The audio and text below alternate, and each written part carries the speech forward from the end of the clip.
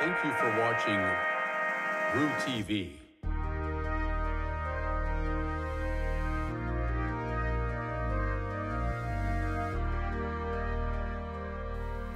Hello, everyone, and welcome back to Roo TV. I'm Jocelyn Summers. And I'm Alexandria Ersman.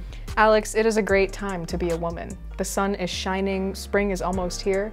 Not to mention, it's literally Women's History Month. It's the best.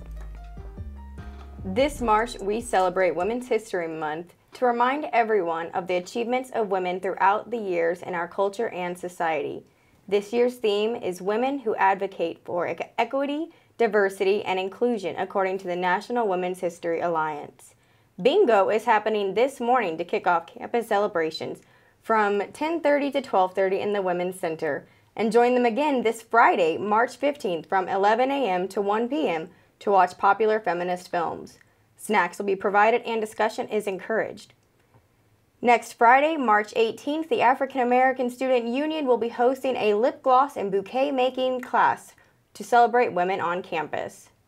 I had the privilege of attending the Summit League tournament in South Dakota over the weekend to announce our basketball games. Let's hop on into the den with Zach to hear more about how the tournament went. Welcome back into the den. I'm your host, Zach Gunter. This past weekend, the men's and women's basketball teams played in the Summit League basketball championships. Unfortunately, both teams lost in their first games. The women played Omaha in the first round of the tournament but after a valiant fight, the Roos lost by six to the Mavericks. The final score was 61 to 55. Freshman guard Emoni Bennett shined the brightest for Kansas City, leading the entire team in scoring with 18 points.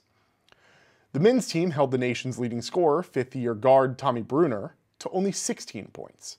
However, that effort still resulted in a heartbreaking one point loss, 61 to 60. Junior guard Cameron Faas was the heart of the team on Saturday. His 14 points off of four made three point shots kept the Roos in the fight. But both team seasons are now over. Softball, however, is just getting started. Standing at 6 and 18, the Roos haven't been all that successful. With losses this weekend to Northern Colorado twice and Rider, the team stays in fifth place in the Summit League. The Roos game against Valparaiso was canceled due to weather. This week, the Roos take on Western Illinois on Tuesday and SIUE twice on Wednesday. That's all I have for you today. As always, Roo up. Another event during Women's History Month is the Her Slash Their art exhibit. This exhibit showcases nearly 60 different artists and what is it what it is like to live as a woman or non-binary femme in America.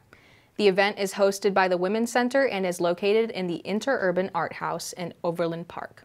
You can tour the exhibit virtually, or starting March 19th, you can tour in person with up to 10 others by making an appointment online.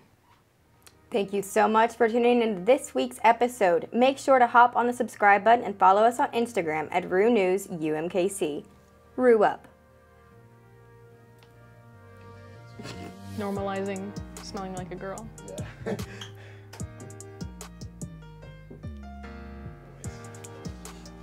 Just tell me when y'all want Taco Bell. Next Monday? Y'all want Taco Bell? Yeah. Yeah, Mexican pizzas for everybody. Doritos Locos Tacos for me. so you write it down. Someone write it down and I'll, I'll actually buy you Taco Bell.